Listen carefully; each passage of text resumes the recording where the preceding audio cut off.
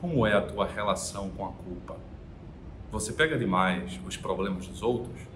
Ou, além disso, você está sempre se criticando e, consequentemente, sempre entrando no comportamento punitivo? Talvez o nosso programa de hoje, o nosso encontro, nossa palestra possa ser útil para você.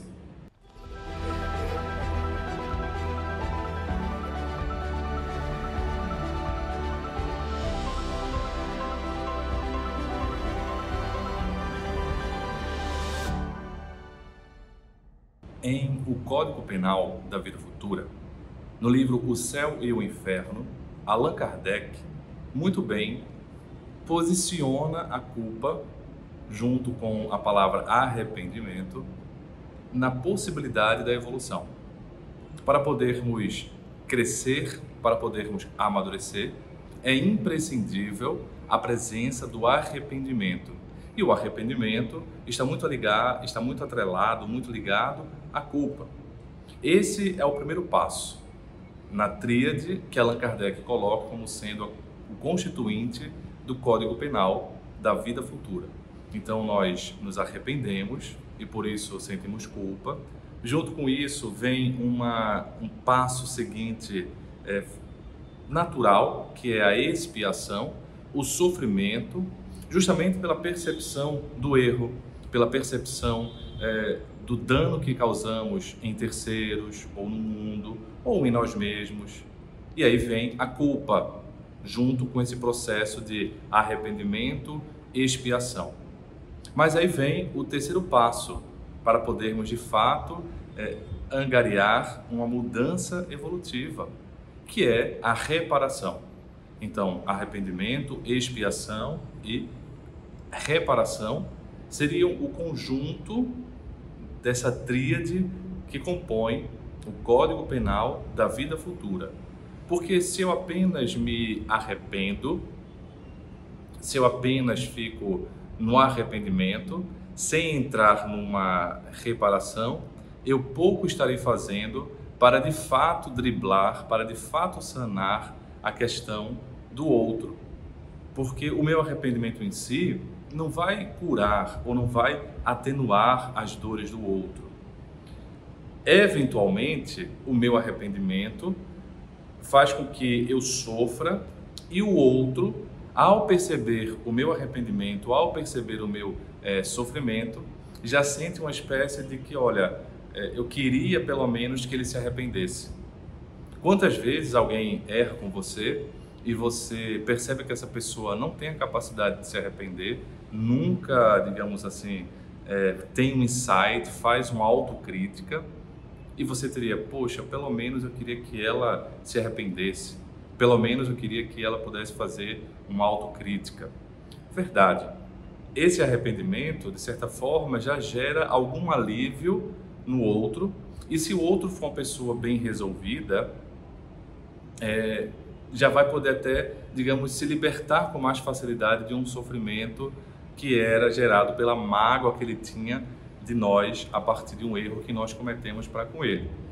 Mas se a gente parar para pensar, no fundo, no fundo, mesmo que o outro é, se sinta mais aliviado, porque pelo menos a gente se arrependeu, pelo menos a gente pediu desculpa, pelo menos a gente de fato percebeu a encrenca que cometeu e o outro consegue viver a vida dele, isso não nos isenta de uma reparação eventualmente não é nenhuma reparação para com a pessoa em si, que já conseguiu se libertar através do perdão. Então, ela já me perdoou, ela já te perdoou, e não é necessariamente uma reparação para a vida dela, que ela nem está mais precisando. Mas aí vem a reparação que a gente precisa fazer para com a vida como um todo, para com a harmonia universal. Porque a questão dos erros, dos equívocos, das encrencas, elas não atingem apenas o outro em si, elas entram numa desarmonia do universo. Então, o outro pode se resolver, pode resolver a mágoa que sente de nós a partir do perdão e se libertar. Mas eu continuo preso à necessidade de uma reparação, se não mais com o outro, com o universo. Então, no fundo, no fundo, um arrependimento junto com o sofrimento expiatório, que compõe aí a culpa na sua face mais profunda, ela não gera é, uma mudança profunda na nossa evolução. Para podermos gerar uma mudança profunda na nossa evolução e sentirmos que fizemos a nossa parte, sentirmos que não estamos mais em débito com ninguém, nem com o universo, a gente precisa fazer algo de bom para a vida. Precisa, portanto, reparar diretamente quando o outro ainda não conseguiu perdoar a nós pelo erro, e aí a gente vai precisar, através da ação, cuidar das feridas dele, e aí sim ele perceber que nós mudamos de fato e que aquele arrependimento não é um arrependimento da boca para fora. Ou então é, fazer um processo mais embrincado de é, reconciliação. Ou então uma reparação para com o universo e no final das contas para conosco mesmo, com, para com as nossas, a nossa lei de Deus que está na nossa consciência. Então, sim, a culpa está situada num processo necessário, num processo primordial, porque vem no primórdio de uma mudança evolutiva, especialmente porque nós aprendemos a evolução muito através dos erros. Dificilmente nós conseguimos na nossa trajetória evolutiva começarmos desde o princípio caminhando bem, de forma tranquila, evoluída, né? A gente acaba palmilhando e ainda palmilha muitas trajetórias equivocadas. Então, nesse sentido, a culpa é uma grande companheira de mudança. Mas aí vem a trajetória da culpa. Essa culpa que gera uma mudança de comportamento, que gera, portanto, uma reparação, é uma culpa saudável. É uma culpa que vem no conjunto arrependimento, sofrimento, e aí é uma culpa saudável, porque gera uma mudança. Mas existe a culpa mais patológica, no que Joana de Ângeles coloca na culpa tóxica, e fica muito fácil entender esse termo tóxico, porque é, é um, um termo que tem sido usado muito ultimamente em outras situações, né, relacionamentos tóxicos, etc. Porque é uma culpa, assim como um relacionamento tóxico, que não nos impulsiona, não é uma culpa que impulsiona a nossa evolução, é uma culpa que nos aprisiona, assim como os relacionamentos tóxicos. Então, nesse sentido, a gente tem vários exemplos que a gente poderia citar, mas eu particularmente gosto de dois exemplos do Evangelho que mostram muito bem essas duas possibilidades de trajetória. A trajetória de Pedro e a trajetória de Judas. Porque os dois se equivocaram os dois erraram. Um negou Jesus quando ele disse que não ia negar de forma alguma, porque ele é, estava todo, digamos assim, soberbo diante da sua força interior. Ele tinha uma pré-potência, né? ele achava que tinha mais força do que realmente tinha. E na hora do testemunho, na hora culminante, ele fica é, em silêncio, né? Ele não só em silêncio, como ele nega três vezes. Jesus havia previsto, porque certamente conhecia a sua personalidade e sabia que na hora do testemunho ele teria muita possibilidade de dar para trás. Além disso, Jesus, um, um, ser iluminado, guia e modelo, modelo da humanidade, segundo a visão espírita, é, tem, teve, né, muito provavelmente, a possibilidade de fazer o que Allan Kardec fala né, sobre a visão do futuro, sobre as profecias em A Gênese, quando vai analisar os milagres do Evangelho. Então, imagine que a imagem que Allan Kardec cria é fantástica. Imagine que é, existe um ser que está em cima da montanha, em cima do penhasco, olhando para baixo. Ele está no alto ou no edifício e está olhando para baixo. E está conseguindo ter um raio de visão maior Imagine outro que está lá embaixo do penhasco ou embaixo do edifício e não está conseguindo ter o raio de visão que quem está em cima do prédio ou em cima do penhasco consegue ver. Então, quem está em cima do prédio consegue observar que está vindo um assaltante e consegue perceber que essa pessoa, se não mudar a trajetória, vai cruzar com o assaltante e muito provavelmente vai acontecer um assalto, um acidente, uma tragédia. Então ele vai fazer uma uma, uma fala, né, que pode ser tida como profecia, porque anteviu o futuro. E vai dizer, olha, aquele indivíduo vai ser assaltado logo naquela esquina ali. Quem está de fora, se não perceber que ele estava falando isso porque ele estava com a vista acima, vai imaginar que é uma profecia, digamos assim, não é? Mas é uma visão mais ampliada do que quem estava embaixo. Então, nesse sentido, é, é muito interessante pensarmos Jesus como esse ser iluminado, esse ser guia e modelo, que tem uma visão mais ampliada.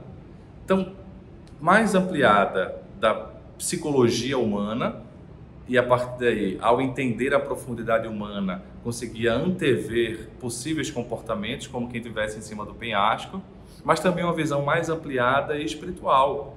E certamente também tinha essa capacidade de deduzir alguns acontecimentos futuros que eram prováveis de acontecer. Então ele faz essa previsão de que, de, é, de que Pedro o negaria três vezes. E quando Pedro cai em si, o que é que ele faz? Logo na hora tem um arrependimento. E depois passa por um processo de sofrimento, um processo de expiação. É a culpa. E quando você vê o Ato dos Apóstolos, ou na literatura espírita Paulo e Estevão, você vê a, o tamanho daquele homem chamado Pedro, que me fascina muito. Porque não era um homem divino a princípio, era um homem bem humano, um bem impulsivo, que errou, que, porém, apesar do erro, não foi desacreditado por Jesus. Continua né, Jesus antevendo que acontecer isso, mas continua colocando o nome dele como uma rocha sobre a qual ele solidificaria o, a igreja, simbolicamente falando. Então, Jesus, percebendo essa característica bem humana, que o levaria ao equívoco, também percebia a sua potencialidade. E esse é o brilho do Evangelho. Não negar as nossas carências, mas não ficar fixada nas nossas carências. Fazer com que a gente anteveja a nossa potencialidade de florescimento humano, de florescimento divino. Essa é a potência maior do Evangelho em nossas vidas e a potência de Jesus na vida do cristianismo, na vida dos, dos humanos, né? da terra, do guia e do modelo. Então ele continua apostando em Pedro. E Pedro vai lá e de forma muito é, íntegra, porque inteira e integral, ele não abandona por causa da culpa. Se ele estivesse mobilizado por uma culpa tóxica, ele ficaria preso ali, né, no arrependimento e no sofrimento. Mas ele faz um caminho de reparação. E aí vem aquela questão que eu estava dizendo no início.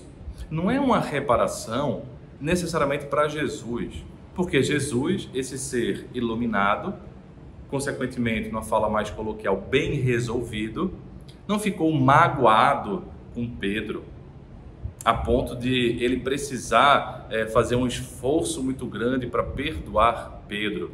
Era um ser diferente, né? um, um psiquismo diferente.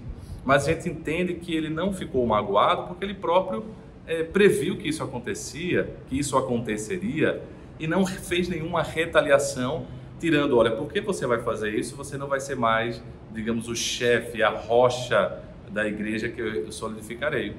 Então ele não fez retaliação. Se ele não fez retaliação, é porque ele não estava magoado. Aí sim, ele não precisou do perdão. Porque totalmente bem resolvido, né? ou seja, evoluído, a reparação que Pedro teve que fazer não foi com Jesus diretamente. A reparação foi para com a vida. Não só para com a vida cósmica, né? a harmonia energética, mas também, de certa forma, com a história. Porque sabia-se né, que, de uma forma ou de outra, é, a história de Pedro, por ser um seguidor de Jesus, ia passar adiante na vida. E a história dele de superação e, portanto, de reparação me ajuda e te ajuda a entender que nós também podemos reparar, mesmo que tenhamos nos equivocado no primeiro momento. E que esse equívoco não nos desautoriza, nem nos é, tira toda a possibilidade de trabalho. Ao contrário, nos coloca no patamar de seres humanos com fragilidades e potenciais. Então a reparação não foi só energética para aquele momento, é uma energética simbólica que passa para a história. Porque, como diz num livro que gosto muito de Victor Hugo, pelas mãos de Divaldo Franco, pela editora FEB, Sublime Expiação. As nossas vidas são livros que nós escrevemos. E cada parte da nossa vida são capítulos que vamos traçando, vamos traçando, e a gente imagina que a nossa vida não é lida por ninguém, mas é lida sim por muitas pessoas. Mesmo que a gente não seja um digital influencer, mesmo que a gente não seja uma pessoa que tenha essa influência tão grande assim, a gente vai ter uma influência mínima que seja nos entes queridos, no nosso ambiente de trabalho, na nossa família, nos nossos filhos, na nossa mãe, no nosso pai, naqueles que estão ao nosso redor olhando nossa trajetória. Então a nossa vida é, de certa forma, um livro aberto, por mais que a gente tente fechar ela é um livro aberto. A gente às vezes tenta fechar para esconder as nossas encrencas e tenta abrir só para mostrar as nossas benfeitorias. Mas de uma forma ou de outra, a nossa vida é um livro aberto. E nesse sentido, nós influenciamos e, portanto, reparamos quando conseguimos manter-nos, né, nos manter fiéis ao nosso propósito, nos manter íntegros, inteiros. A gente vai influenciando porque as pessoas vão percebendo uma possibilidade. Da mesma forma que Pedro, ele faz essa reparação, continua sua trajetória, é um líder fundamental na história do cristianismo. Eu costumo dizer que a, o livro Paulo e Estevão enaltecem ali essas duas figuras né, centrais do livro, mas é, eu fiquei muito também impressionado, porque eu acho que li Paulo e Estevão antes mesmo de ler Atos dos Apóstolos, fiquei muito impressionado com a vida de Pedro, né? a importância dele para que a igreja inicialmente não criasse uma divisão ali entre é, Paulo e Tiago. Né? Paulo querendo levar o cristianismo para todo mundo e, portanto, não apenas para os circuncisados, é, e o Tiago mais querendo fazer uma atualização do judaísmo através do cristianismo, portanto, uma, um cristianismo mais para os judeus, um cristianismo mais para aqueles que estavam com circuncisão. Por isso que Paulo foi chamado também apóstolo dos gentios, né? ou seja, de todos, e não apenas dos judeus. Era uma mensagem que ele não concebia ser apenas para o judaísmo. E Pedro, né, nessa questão que parecia inconciliável, consegue ter a temperança, o controle do impulso para poder chegar numa solução. A gente vê Pedro ali no Atos dos Apóstolos, em determinada passagem, é, com tanta influência e tanto amor transbordando dele, que as pessoas começavam a se aglomerar para que pelo menos a sombra de Pedro é, pousasse nelas e elas pudessem obter as suas curas. Então, antes era o discípulo que, impetuoso, não conseguiu, na hora H, manter a sua presença cristã.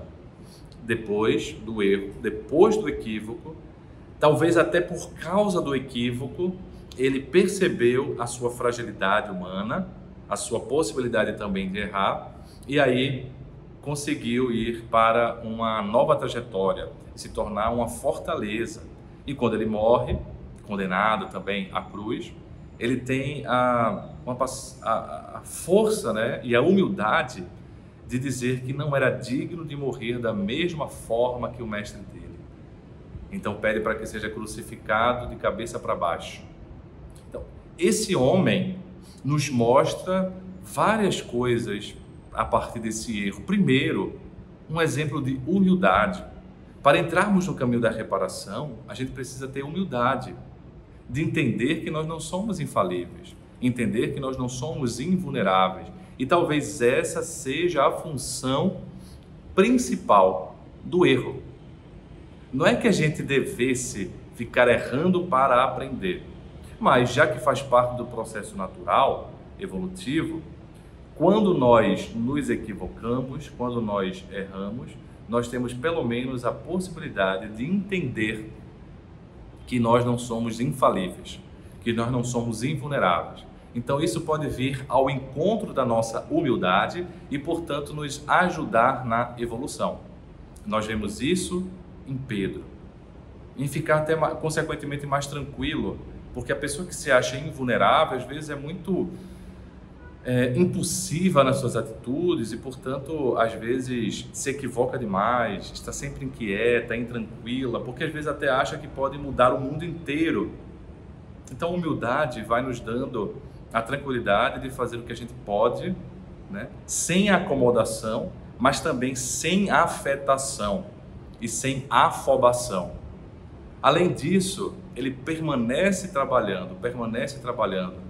O erro nos dá outro tipo também de humildade, de percebermos que, olha, se eu sou falível, se eu me equivoco, e eu estava ali junto de Jesus, tinha um contato de muitas, muitas é, passagens aconteceram na intimidade de um grupo de três apóstolos, Pedro incluído, como a transfiguração né, de Jesus.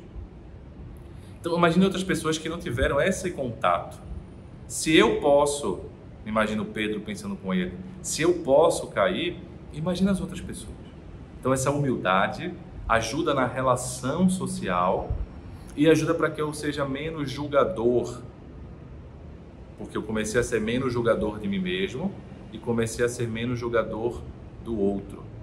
Então vejo os benefícios do erro e de um caminho mais maduro de arrependimento, expiação e reparação. E que a reparação não é necessariamente para o outro, como não foi no caso de Pedro para com Jesus, mas da gente para com a vida, da gente para com o universo, com a energia e com a história. Ao lado de Pedro, nós temos o exemplo de Judas. Uma outra figura que também se equivoca, talvez os dois principais próximos de Jesus que se equivocaram. A gente pode ficar medindo o erro, medindo, medindo o equívoco, mas entraremos numa seara muito complicada. Ah, Judas errou mais do que Pedro. É, eu não tenho esse, digamos, errômetro, né? o termômetro para medir qual foi o erro maior. Os dois se equivocaram. Na minha percepção, né, eu, eu vejo de fato o equívoco de Judas um tanto quanto mais é, danoso para aquele momento, né? Se eu penso assim numa pessoa que segue, porque foi uma não foi uma negação, né? Foi um erro mais de traição. Mas certamente temos os atenuantes, assim como Pedro teve os atenuantes, né? É, Pedro ali, o homem prático, pragmático, também preocupado naquele primeiro momento com a família, com o filho, com a, a esposa, com a sogra. Ele era um homem é, prático, um homem de família que foi aos poucos é, se desvinculando apenas desse serviço paternal junto à família e foi se vinculando a esse serviço maior junto à família universal. Então há o atenuante ali para ele ter medo e fazer a negação. Certamente também é, Judas, o atenuante de ter uma outra cultura, né?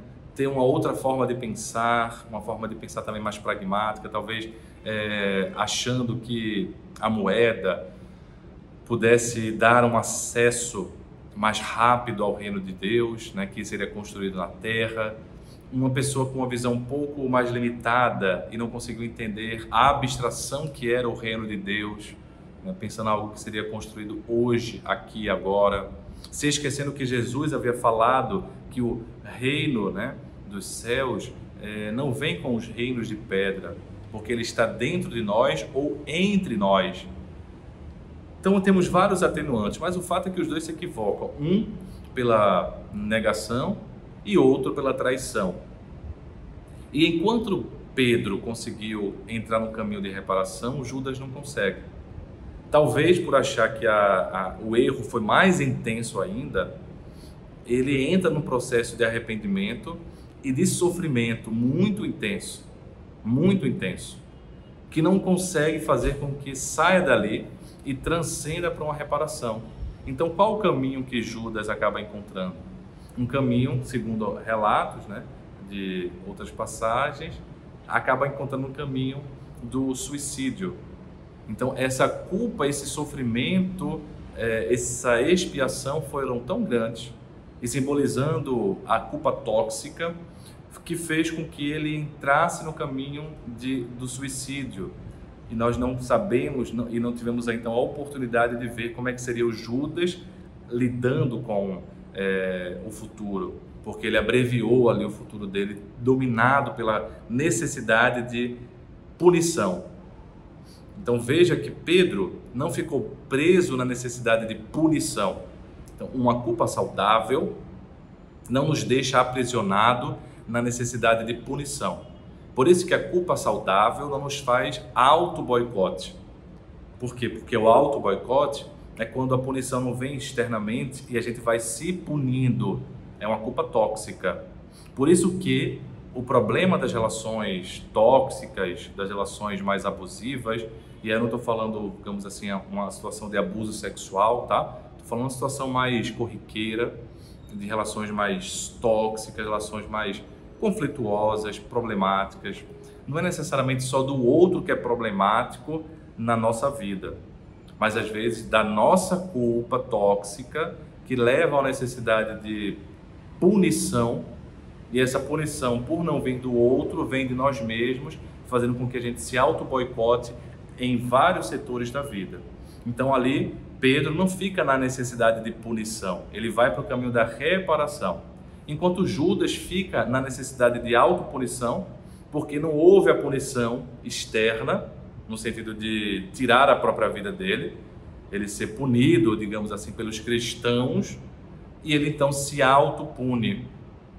E aí eu chamo a atenção para uma prática que talvez na tua, na tua, no teu derredor aconteça. Eu vi né, é, aqui em Pernambuco, acho que em outros estados também, quando chega ali no momento da Páscoa, às vezes existe é, uma punição coletiva a um boneco que se faz é, simbolizando Judas, e ali você faz uma série de punições.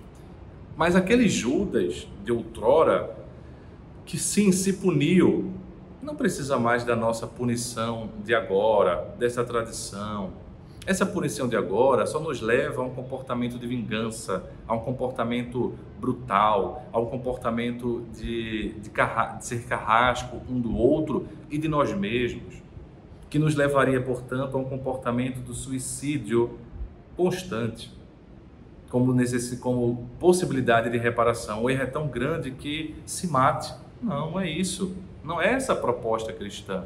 Esse foi um caminho atrapalhado, autopunitivo, mobilizado pela culpa tóxica que, que Judas fez naquele momento antigo.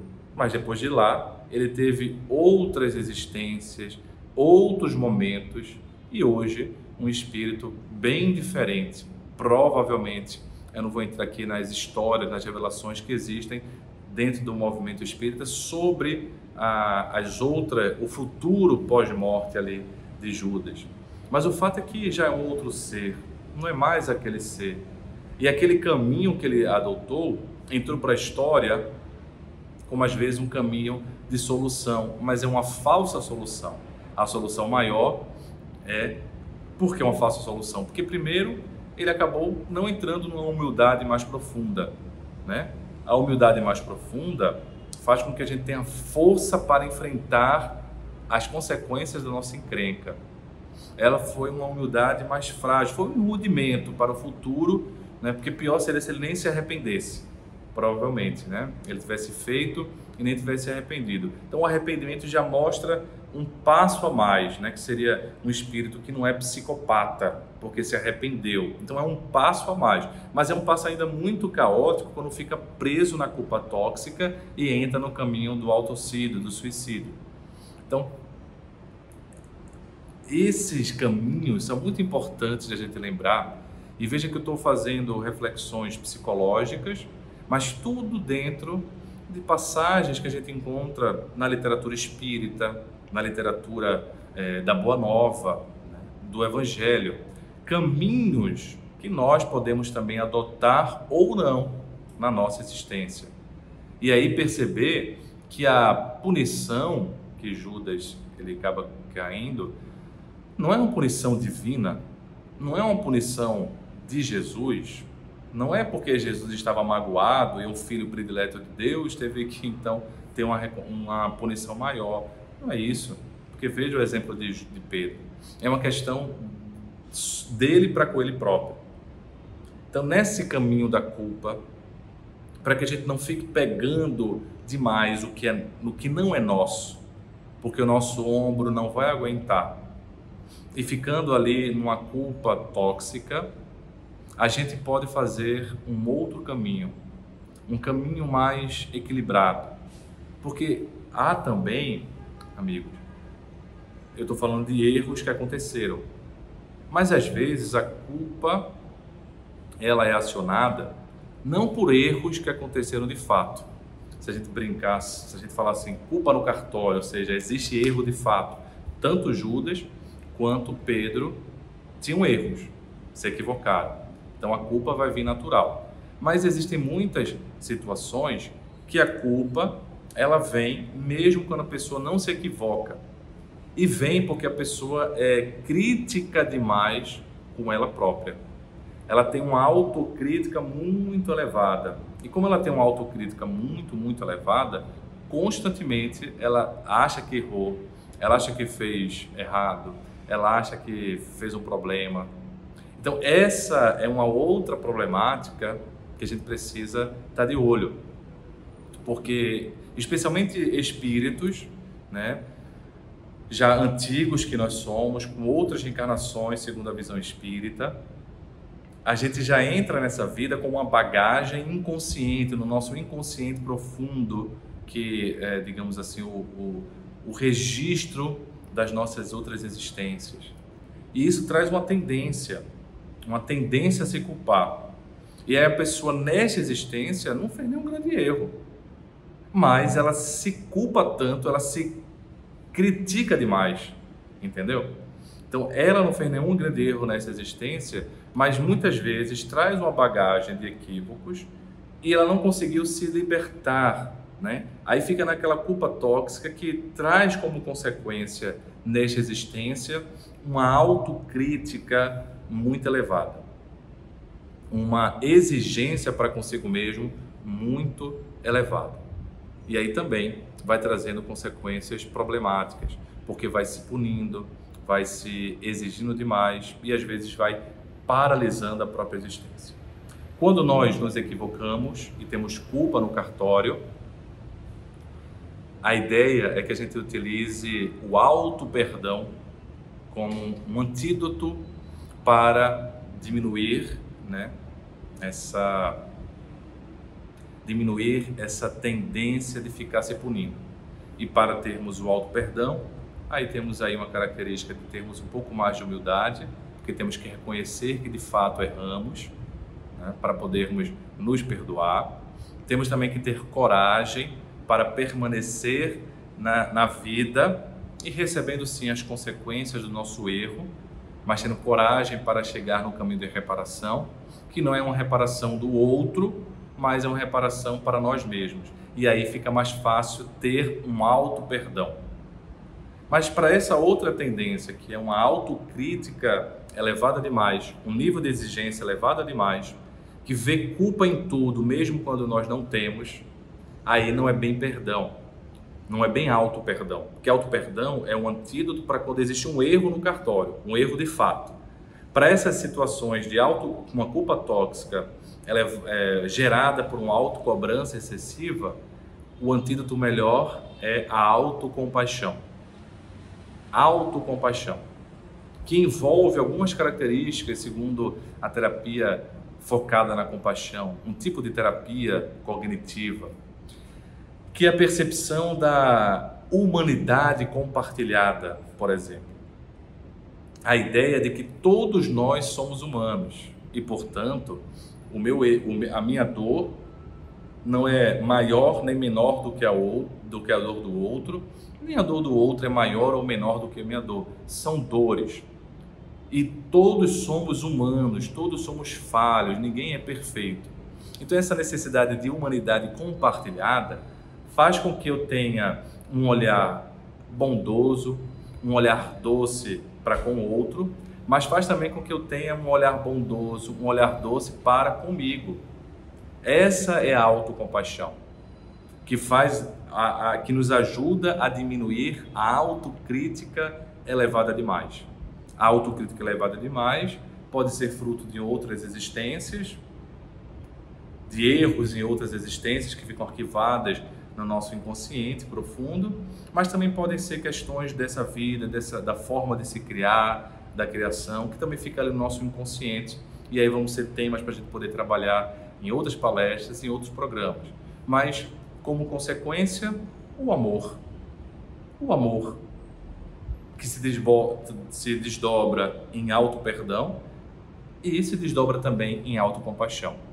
Amar ao outro como a si mesmo. Então só dá para pensar em perdão maior do outro e compaixão para com o outro se a gente também pensar em amor a nós mesmos. Auto-perdão e auto-compaixão. Quando a gente faz isso, a gente consegue entender a mensagem mais profunda de Olavo Bilac. Ora direis, ouvir estrelas por certo perdeste o senso. Eu rugirei, no entanto, que para ouvi-las muitas vezes desperto, e abra a janela pálido de espanto. E conversamos largo tempo enquanto a Via Láctea, como um palho aberto, cintila. E quando vem o sol, ainda saudoso e em pranto, eu as procuro pelo céu deserto. Direis agora, três loucado amigos, que conversas com elas, que sentido tem o que dizem quando estão contigo? E nós diremos, amai porque só quem ama pode ter ouvido capaz de ouvir e de entender as estrelas que estão externamente, mas também de entender a nossa intimidade luminosa, de potencial, que foi o que Jesus fez com Pedro. As fragilidades, mas a estrela que Pedro poderia ser e já o era. Amai, porque só quem ama pode ter ouvido capaz de ouvir e de entender as estrelas. Muita paz.